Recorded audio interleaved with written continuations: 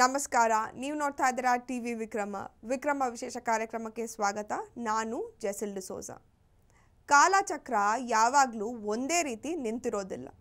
ತಿರುಗ್ತಾನೆ ಇರುತ್ತೆ. ಮೇಲಿದ್ದವರು ಕೆಳಗೆ ಬರಲೇಬೇಕು, ಕೆಳಗಿದ್ದವರು ಮೇಲೆ ಹೋಗಲೇಬೇಕು. ಕೆಲವೇ ವರ್ಷಗಳ ಹಿಂದೆ ಅಮೆರಿಕವನ್ನು ನೋಡಿ, ವಿಶ್ವದ ದೊಡ್ಡಣ್ಣ ಅಂತ ಮೆರೆತಿದ್ರು. ಭಾರತೀಯರಿಗೆ ಕೆಲಸ ಕೊಡ್ತೀವಿ ಅನ್ನುವ ಗತ್ತಿನಲ್ಲಿತ್ತು. ಆದರೆ ಈಗ ಕಾಲ ಬದಲಾಗಿದೆ. ಭಾರತೀಯರಿಗೆ ಅಮೆರಿಕ ಏನು ಕೆಲಸ ಕೊಡೋದು? ನಮ್ಮ ಉದ್ಯಮಿಯೇ ಅಮೆರಿಕದ ಹತ್ತು ಲಕ್ಷ ಮಂದಿಗೆ ಕೆಲಸ ಕೊಟ್ಟಿದ್ದಾರೆ. ಕೆಲವೇ ದಿನದ ಹಿಂದೆ ನಮ್ಮಲ್ಲಿ ಒಂದು ಪ್ರೋಗ್ರಾಮ್ ಬಂತು.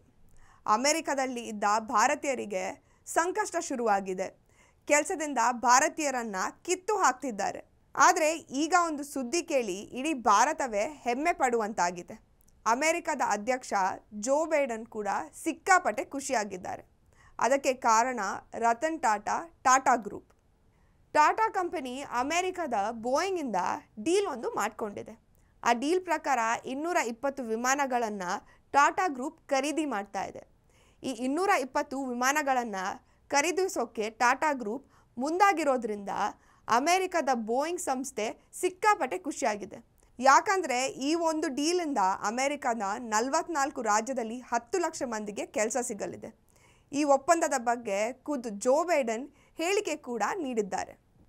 ಈ ಇನ್ನೂರ ಇಪ್ಪತ್ತು ವಿಮಾನ ಟಾಟಾ ಗ್ರೂಪ್ ಸೇರಿಕೊಂಡ್ರೆ ಏರ್ ಇಂಡಿಯಾ ಸಾಮ್ರಾಜ್ಯ ವಿಸ್ತಾರ ಆಗುತ್ತೆ. ಅಷ್ಟೇ ಅಲ್ಲ, ಇನ್ನೂರ ಐವತ್ತು ವಿಮಾನಗಳನ್ನು ಫ್ರಾನ್ಸ್ ಏರ್ಬಸ್ನಿಂದ ಖರೀದಿ ಮಾಡೋಕೆ ಏರ್ ಇಂಡಿಯಾ ಒಪ್ಪಂದ ಮಾಡಿದೆ. ವೈಡ್ ಬಾಡಿ ವಿಮಾನ ಸುಮಾರು ಹದಿನಾರು ಗಂಟೆ ಕಾಲ ಹಾರಾಡಬಹುದು. ನ್ಯಾರೋ ಬಾಡಿ ವಿಮಾನ ಕೇವಲ ಹತ್ತಿರ ಪ್ರಯಾಣಕ್ಕಾಗಿ ಬಳಸಲಾಗುತ್ತೆ. ಫ್ರಾನ್ಸ್ ಜೊತೆಯ ಈ ಒಪ್ಪಂದ ನಡೆಸುವಾಗ ಮೋದಿಜಿ ಹಾಗೂ ಫ್ರಾನ್ಸ್ನ ಅಧ್ಯಕ್ಷ ಇಮ್ಯಾನ್ಯುಯಲ್ ಮ್ಯಾಕ್ರಾನ್ ವಿಡಿಯೋ ಕಾನ್ಫರೆನ್ಸ್ನಲ್ಲಿ ಹಾಜರಿದ್ದರು.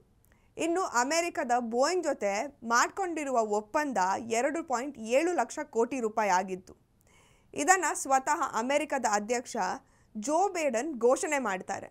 ಮೋದಿಜಿ ಜೊತೆ ಫೋನ್ ಮಾಡಿ ವ್ಯಾಪಾರ ಅಭಿವೃದ್ಧಿಗಾಗಿ ಒಟ್ಟಿಗೆ ಸಾಗೋಣ ಅಂತಲೂ ಹೇಳಿದ್ದಾರೆ. ಇಂಟ್ರೆಸ್ಟಿಂಗ್ ಏನಂದರೆ ಏರ್ ಇಂಡಿಯಾ ಹದಿನೇಳು ವರ್ಷದಲ್ಲಿ ಇದೇ ಫಸ್ಟ್ ಟೈಮ್ ವಿಮಾನ ಖರೀದಿಗೆ ಮುಂದಾಗಿರೋದು.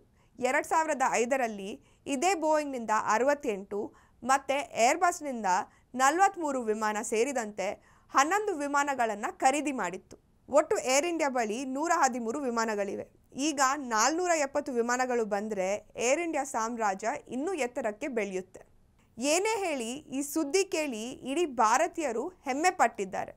ಒಂದು ಕಾಲದಲ್ಲಿ ಭಾರತವನ್ನು ನೋಡಿ ಆಡಿಕೊಳ್ತಾ ಇದ್ರು. ಅಮೇರಿಕಕ್ಕೆ ಹೋಗಿ ನಮ್ಮವರು ದುಡಿಬೇಕಾಗಿತ್ತು. ಆದರೆ ಈಗ ಅಮೇರಿಕದ ನಲವತ್ನಾಲ್ಕು ರಾಜ್ಯದ ಹತ್ತು ಲಕ್ಷ ಮಂದಿಗೆ ಭಾರತ ಕೆಲಸ ಕೊಡ್ತಾ ಇದೆ. ಮೋದಿಜಿ ಸರ್ಕಾರದಲ್ಲಿ ಅಭಿವೃದ್ಧಿ ಹೇಗಾಗ್ತಾ ಇದೆ ಅನ್ನೋದಕ್ಕೆ ಇದೊಂದು ಸಣ್ಣ ಎಕ್ಸಾಂಪಲ್ ಟಿವಿ ವಿಕ್ರಮ, ದೇಶ ನಿಮ್ಮ ಕೈಯಲ್ಲಿ. ಈ ಕಾರ್ಯಕ್ರಮ ನಿಮಗೆ ಇಷ್ಟ ಆಗಿದ್ರೆ ಲೈಕ್ ಮಾಡಿ ಶೇರ್ ಮಾಡಿ. ಟಿವಿ ವಿಕ್ರಮದ ಕಾರ್ಯಕ್ರಮವನ್ನು ನಿರಂತರವಾಗಿ ವೀಕ್ಷಿಸಲು ಸಬ್ಸ್ಕ್ರೈಬ್ ಮಾಡಿ ಬೆಲ್ ಬಟನ್ ಒತ್ತಿ.